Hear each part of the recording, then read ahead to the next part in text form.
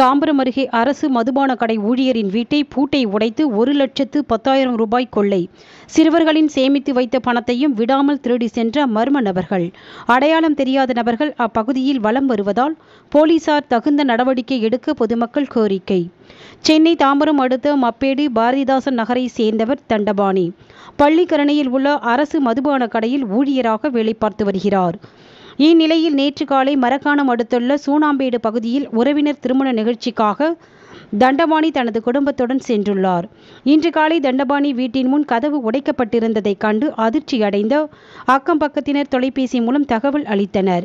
உடனடியாக வீடு திரும்பிய தண்டபாணி உள்ளே சென்று பார்த்தபொழுது பீரோ உடைக்கப்பட்டு அதிலிருந்து ஒரு லட்சத்து ரூபாய் பணம் மற்றும் சிறுவர்கள் உண்டியலில் சேர்த்து வைத்திருந்த பணமும் கொள்ளை அடிக்கப்பட்டிருந்தது தெரியவந்துள்ளது. இதுகுறித்து சேலையூர் போலீசாருக்கு தகவல் அளிக்கப்பட்டதை அடுத்து கைரேகை நிபுணர்களுடன் வந்த போலீசார் மர்ம நபர்களை குறித்து விசாரணை செய்து வருகின்றனர்.